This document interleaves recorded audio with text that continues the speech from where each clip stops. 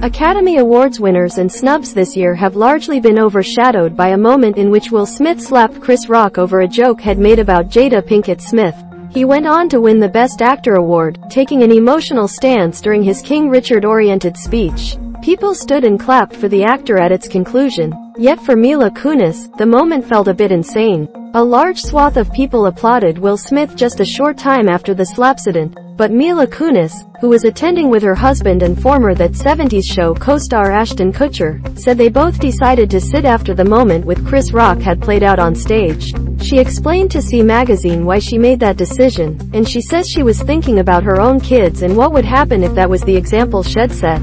The idea of leading by example only makes sense when you actually have someone to lead. We have our tiny little tribe here at home, and never once do I want to tell them to do something if I am not willing to do it myself. Not standing up to me was a no-brainer, but what was shocking to me was how many people did stand up.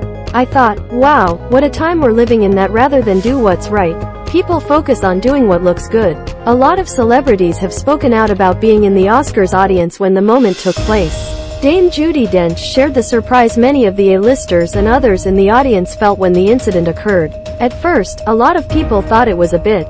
Frequent awards host Ricky Gervais was surprised such a tame joke led to the upheaval it did. Some, like Wanda Sykes, recognized the significance of what happened in the moment, noting she felt it reflects where society is in regards to civility. Later, comedians like Steve Harvey had jokes about the slapsida. Even Chris Rock has bluntly mentioned what happened, but though Will Smith himself has apologized and spoken about what happened the comedian allegedly hasn't been ready to talk yet. Smith has previously spoken about being fogged out after the incident and not knowing how it would come across. He's certainly had months to think about what happened, as he stepped down from the academy and had numerous projects paused. Only now, months later, is his long-awaited Emancipation movie finally getting a first trailer and some traction over at Apple TV+.